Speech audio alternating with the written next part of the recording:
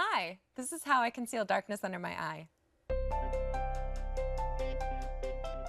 Your first step is going to be applying an under makeup primer.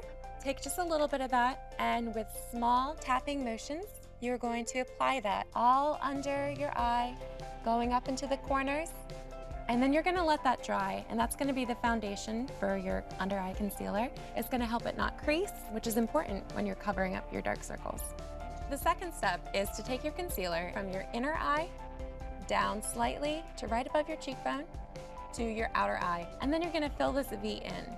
You don't need a lot, but you definitely want full coverage. The third step would then be to blend. You can just take your finger, you can use a brush, that you wanna make small, gentle tapping motions under your eye. You don't wanna swipe.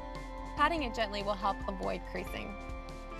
A common misconception is to go too light with your under eye concealer. You really only wanna go about a shade lighter than your foundation color. Done. Hey, thanks for watching. To see more basic beauty, click here.